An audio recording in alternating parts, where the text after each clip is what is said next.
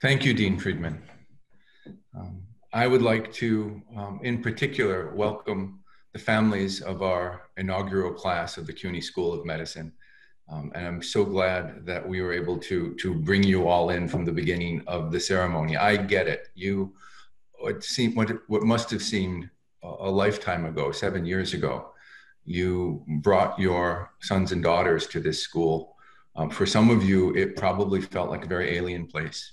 And you hoped that as they proceeded in their education, they would grow more deeply connected to the values of your neighborhood and your family rather than alienated from those values. And I will tell you that having been with them for seven years and seen the, the care that the faculty and staff of this school has given them and seen how they have performed and developed under that care, that they are magnificent. And we are so deeply proud of each one of them.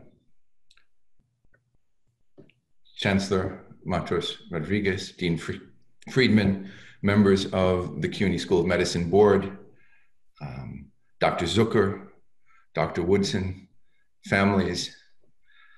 This is where I normally say graduates, but instead I will say doctors. It is my great pleasure to offer my congratulations on this glorious day. It seems to me that only uh, a, a, day or so ago, a similar online uh, celebration gathered. Um, for some of you, given what you've been through, what you've seen, what you've endured in the intervening weeks, it must seem like a lifetime. I can't begin to imagine what it has been like under the pressure of this COVID 19 virus to serve as a frontline responder in some of these hospitals. But it is you know, the very first um, admirable act of your public life of doctors in what we all anticipate to be a career full of heroic and admirable acts. You are the first class of the CUNY School of Medicine, and I imagine you will hear that today more times than you will be able to count. In fact, if somebody congratulates you without reminding you that you are the graduating class of the first class of the CUNY School of Medicine, make sure you remind them. Um, and I say that because as the graduating class, you have an opportunity and a responsibility to make sure that the transition of the values of what you learned in the classroom, what brought you to this school, carries on in your lifetime.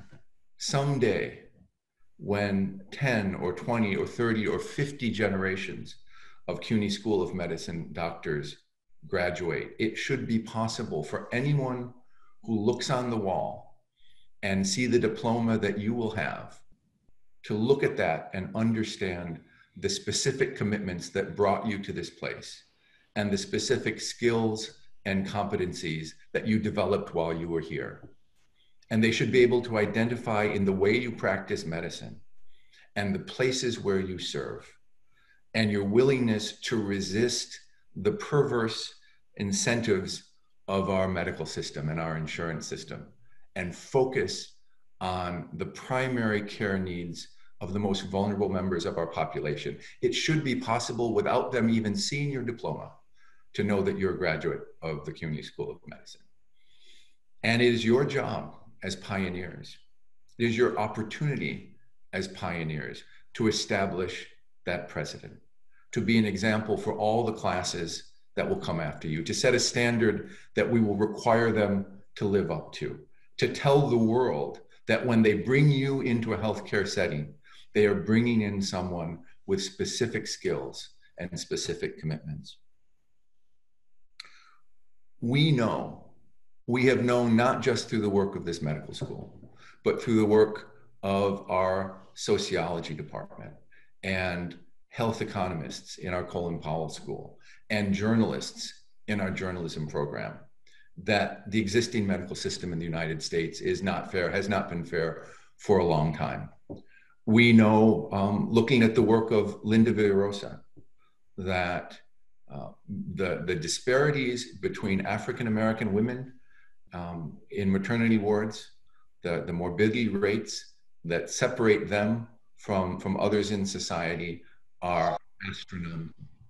We know that if you're an African American man in the American South suffering with HIV AIDS, your health outcomes resemble more the outcomes of the general population in the 1980s than what we should expect in the second decade of the 21st century.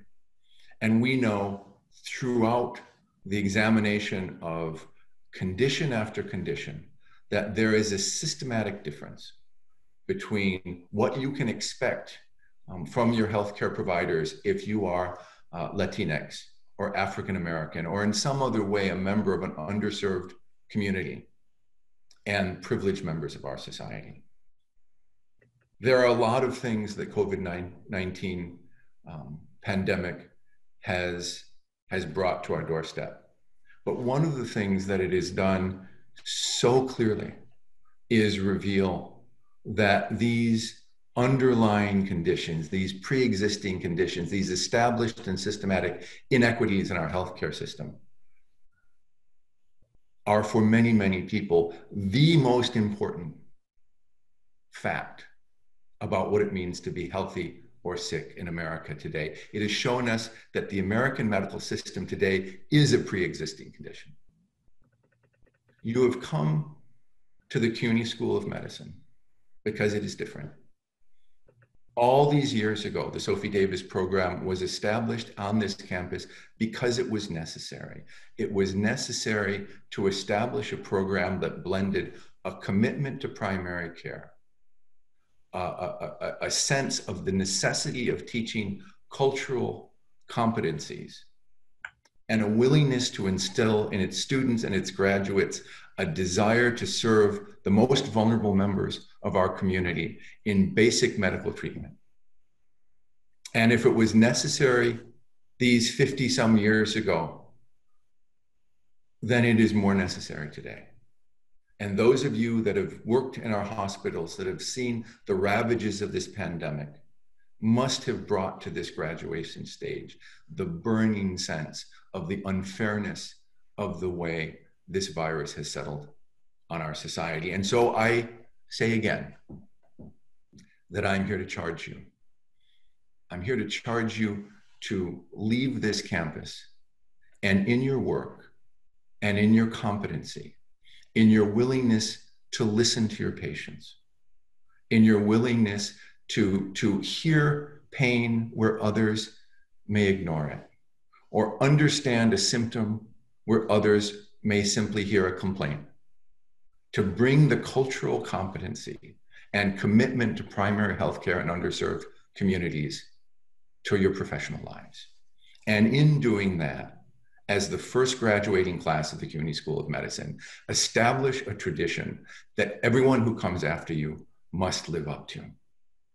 If you can do that, if you can carve a pathway for other graduates of this medical school to follow, if you can set standards of conviction and commitment that others must follow when they leave here, if you can make it crystal clear to every applicant whoever fills out an application to come to this school why they've chosen this place to study medicine instead of some other place. Then you will have done your job and you will have served the legacy of this great college and the legacy of this historic program. And you will begin the necessary, the vital work of little by little changing the way we deliver healthcare in the United States. It is a heavy responsibility, but everything that's happened to you in your last seven years on this campus, in this school, prepares you for it. We are so confident in your ability to do this work. We are so proud of what you have demonstrated and what you will continue to demonstrate. And so deeply dependent on the success of your efforts today, next month, next year, and all the days of your life. Congratulations, inaugural class of the CUNY School of Medicine.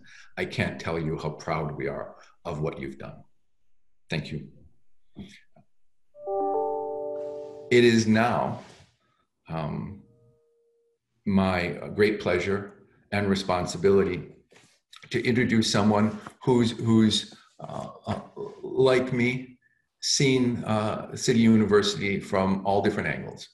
Um, you may not know this, uh, but most colleges only get a chance to see the chancellor at graduation once or twice every four or five years. We have 25 institutions in the CUNY system, all graduating more or less simultaneously. And a judicious chancellor parcels out his or her appearances um, so that everybody gets a shot at their attention.